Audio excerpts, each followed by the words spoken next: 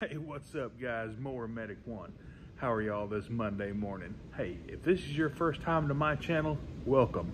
If you are already subscribed to this YouTube channel, welcome, welcome, welcome. Anyway, I've gotten so many comments and emails about, hey, Mower Medic, I want to start trying to look up my own parts, but I ordered some parts for my trimmer, and when I got them in, they were wrong that's so easy to do if you don't know what you're doing as far as trying to be a parts person. Let me walk you through ordering parts. We're going to use a little Echo trimmer. I'm going to show you the websites that I like to use and let me show you how to properly make sure you get the right parts when you order them. Today's specimen is a little Echo uh, curb edger. We're going to order the guard. We need to order a muffler bolt as one of them broke off. Very common on the SR, well, the PE266, PE280s. The, the, most of your Echoes that have the stud bolts instead of just screwing straight to the block. I like this method but let me show you what happened. Okay, so these muffler bolts just come in behind and get hooked into the cylinder head like that. But what happened was on this one right here, if I can get that in there, the customer has lost the muffler guard and mushroomed over one of the bolts. And whenever I went to take the nut off, it just snapped off. Very common thing. Okay, so what you're gonna need is the model number, which is a PE266, and you need the serial number, which is right here. That's an important piece of information that you are going to need. All right, so I like to go to either eReplacementParts or PartsTree. Parts tree is usually the best bet when it comes to looking up Echo parts.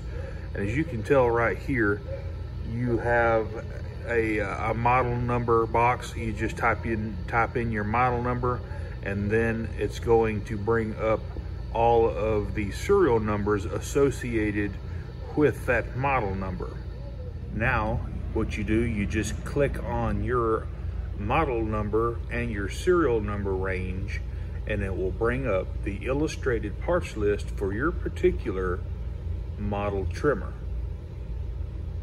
So what you want to do, you want to scroll through those model pages, those illustrated parts list until you find where the exhaust system is or maybe maybe it's going to be on the cylinder, but most of the time it's going to have an exhaust system page so you just click on that and it'll pull up everything that you need exhaust system wise.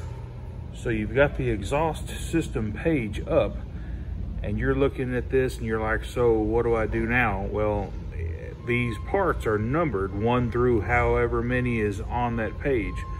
So you need to write down or remember which parts you need and write the part, you know, it's always easier just to write the description of the part that you need and then the number corresponding to it. So obviously we need a number one, the gasket, the bolts, possibly a couple of nuts and the washers and the muffler guard. So right below the illustrated parts list is going to be your actual part numbers. So what you would do is look at the illustrated parts list, get the number that corresponds, and then when you scroll up to actually look up the part numbers, you need to match your uh, your numbers. Say like number one is the bolt. You need to look at the parts list that's below it and write down the part number for the bolt and then you're good to go and you should be able to look up anything for this trimmer using PartsTree. Very, very important to be sure you have your serial number. And why? Because a lot of times these manufacturers the reason that they have serial number breaks is because they have changed some of the parts. And the most common change is going to be ignition modules, uh, flywheels, starters, starter uh, cups. A lot of that stuff just changes over time. Uh, they may change a cover or two. Uh, the trigger handle might be different on some of the other models, but uh, oh, and engine covers and uh, exhaust covers are very common to change on the same model but different serial numbers. But anyway, guys, hey, if this content helped you out, and I hope it did, give me a subscribe, please, and hit that bell to get all my new notifications. And by the way, hey, whenever uh, you click the bell, right next to that's going to be a little heart. And if your heart feels like it's necessary to uh, click that, please do. And uh, comment and let me know how everything's going.